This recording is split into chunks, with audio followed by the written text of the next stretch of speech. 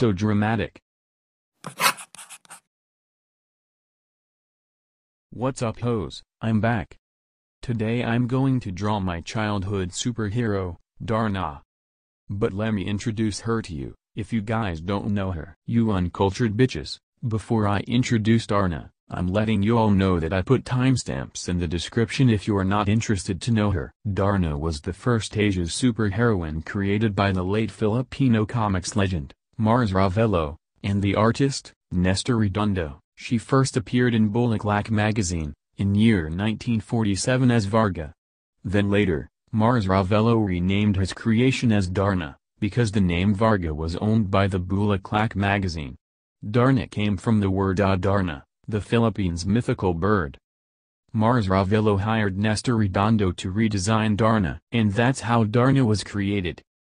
According to Mars Ravelo, Darna was inspired by her mom, Superman and Captain Marvel, though she was always compared to Wonder Woman. Now that you know who Darna is, let's focus to the drawing, and watch me suffer. Sorry I didn't able to record the first part. My stupid ass forgot to click record. Anyways, I'm just going to explain it. First, I roughly sketch the pose without any details, using airbrush. Then, I lower the opacity to 30% and add another layer. On the new layer, I roughly sketch again but added details, such as face and other body parts. Anatomy was actually the hardest thing for me to study, but I keep searching for references whenever I drew half-body or full-body characters. If I can't find any on the internet, I capture and use myself as reference. A lot of beginner artists think that referencing is bad, but actually, it will help you a lot. After I sketch the pose with details, I add another layer, and hide the layer of the first sketch.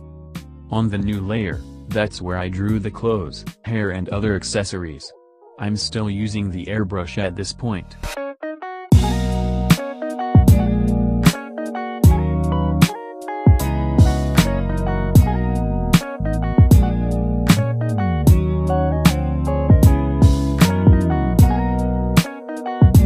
Now for the inking part. I merged the sketch for the pose and clothes, hair and accessories, then I lower the opacity to 40%. I add another layer, and that's where I ink the sketch. I used textured brush, but you can also use default brush. I just wanna give some flavor that's why I use textured brush.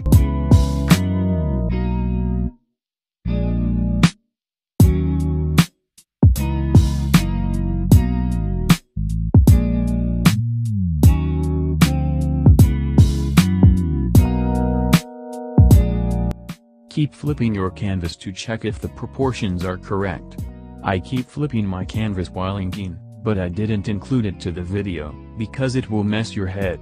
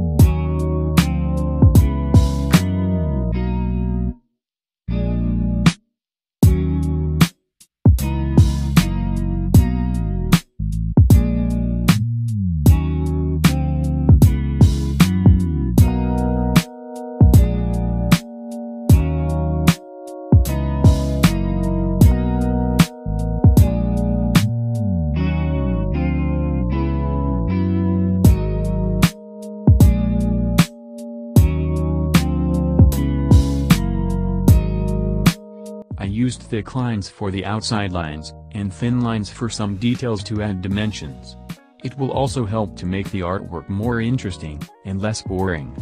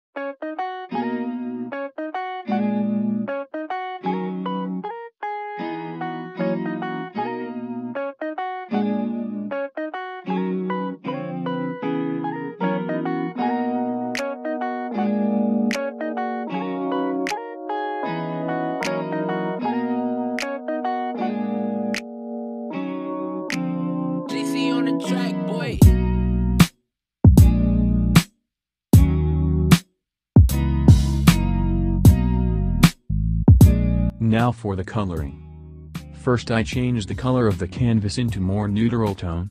It will help me to identify the true value of each color that I will put. I add another layers below the outline for the skin, clothes and hair. For her skin I gave her the Morena kind of moment. Though she's an alien entity from planet Marte, I still want to give her that Filipina glow.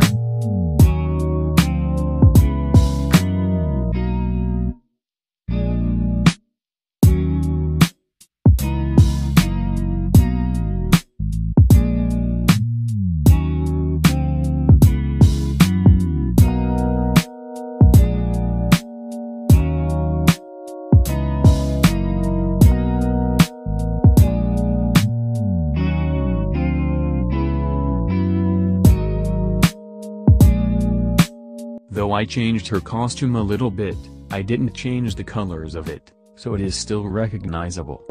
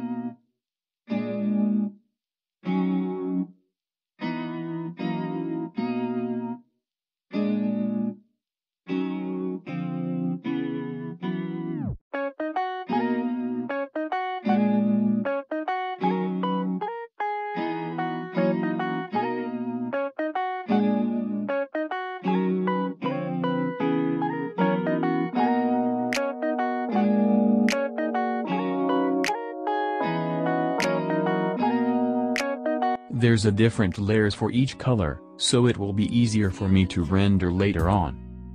After I put all the base colors, I lock each layers so when I render, I will not worry to paint over other layers.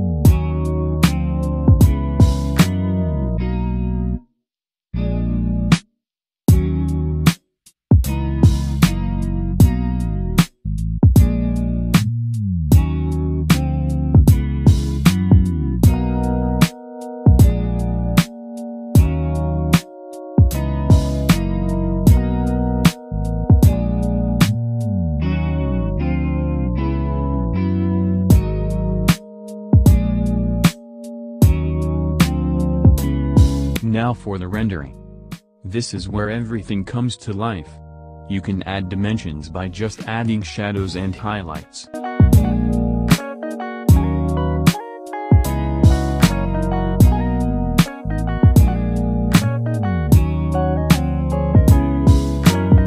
I don't really know how to explain it, so forgive me. Remember, I'm an artist, not a teacher. Just kidding.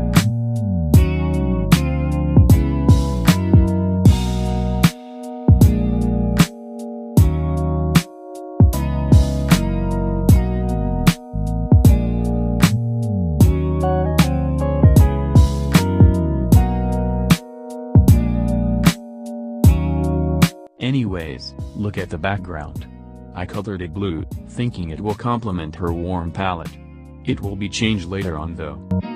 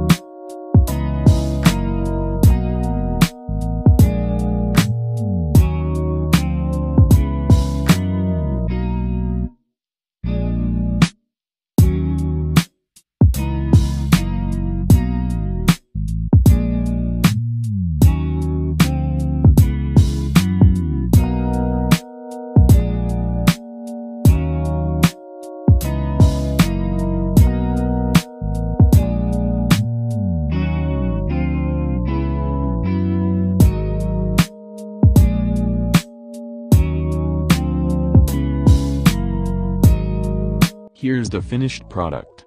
I told you I will change the background.